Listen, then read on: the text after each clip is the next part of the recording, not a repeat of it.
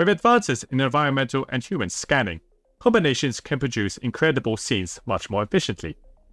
One of these technologies is MetaHumans, which provides a complete framework to create and animate realistic digital humans. Another is 3D Gaussian splatting technology, which can convert videos into photorealistic 3D scenes. I will go through how both these can be combined with Unreal Engine, and how you can interchange with various metahumans or scenes that you have scanned. Starting with MetaHumans by Epic Games.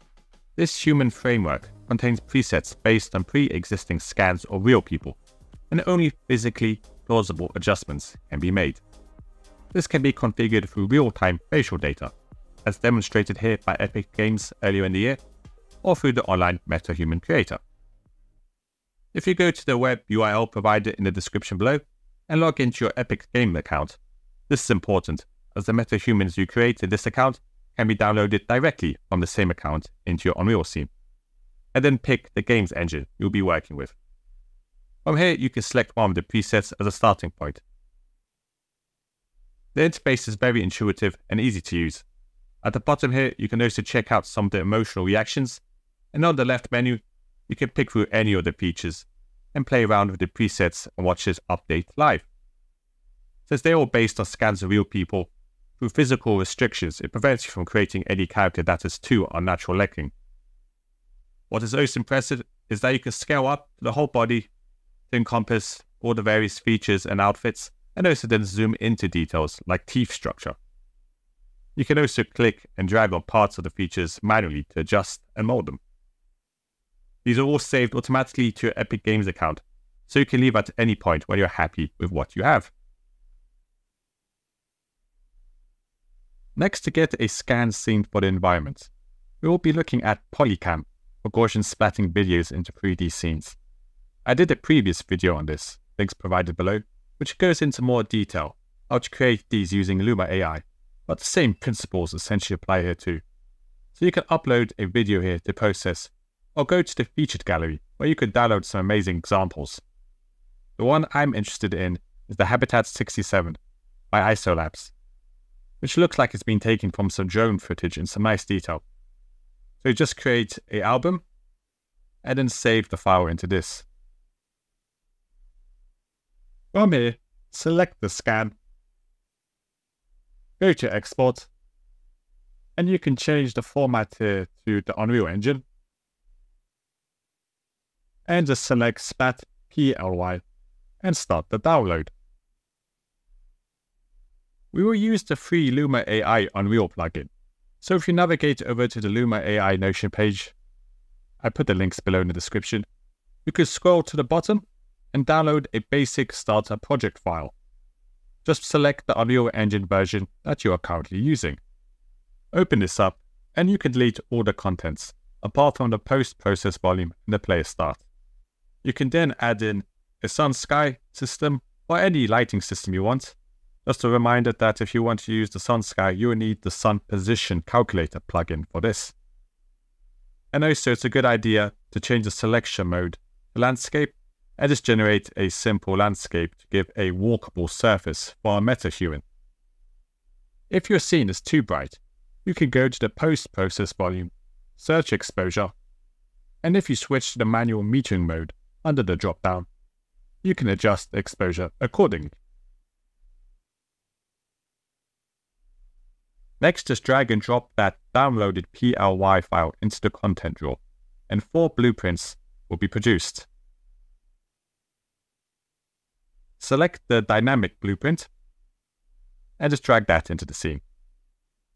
Will come in unscaled and very randomly positioned, so it's just a matter of scaling, rotating, and transforming it until you're happy with the position. You can always adjust this later on.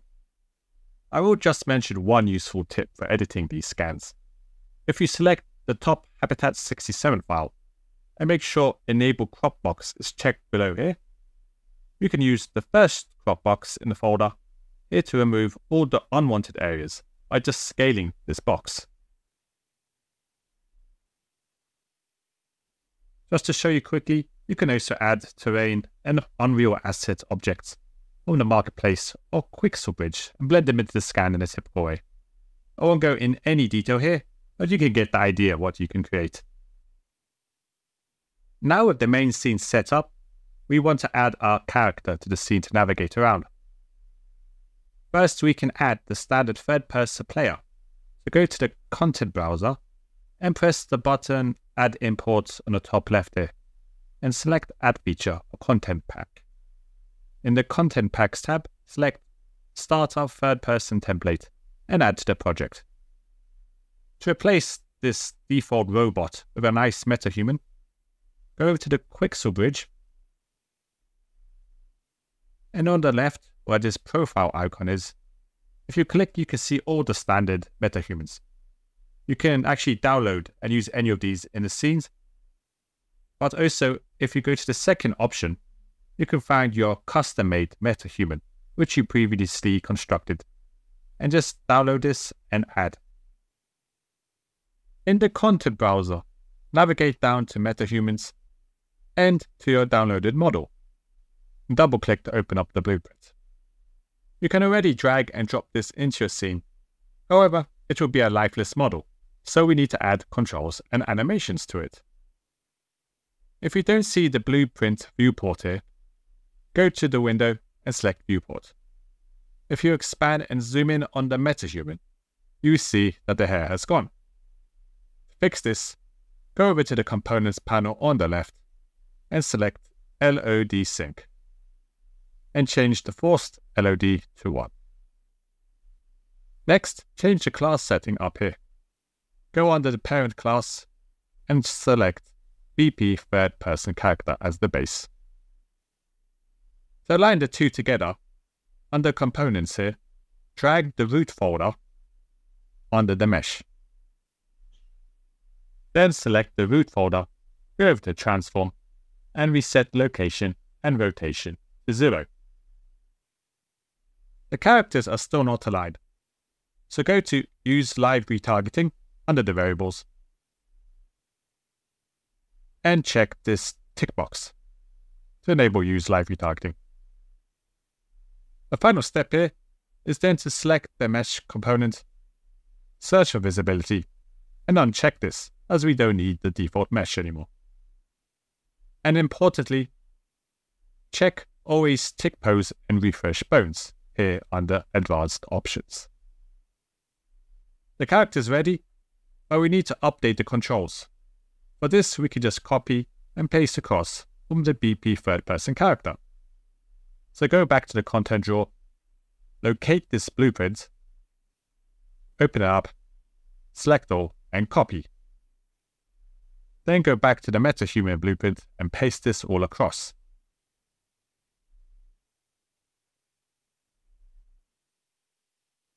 All we need to do is adjust one thing at the top.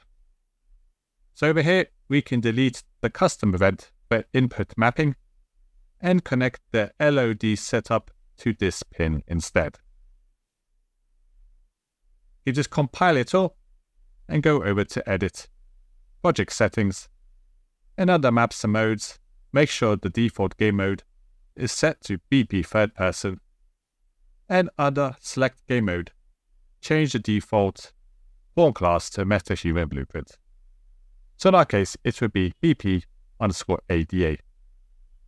If you make other metahumans, here you can just switch them out accordingly. Now if you hit play, we can run around and animate our metahuman and interact with our 3D Gaussian splat scan. This is just scratching the surface of what can be done with these scans and metahumans. You can take this a step further to bring in your metahumans to the streamed 3D Google tiles and also bring in your scans to this model. So I hope you enjoyed this workflow, found it useful, and hope you enjoy trying these tools out for yourself.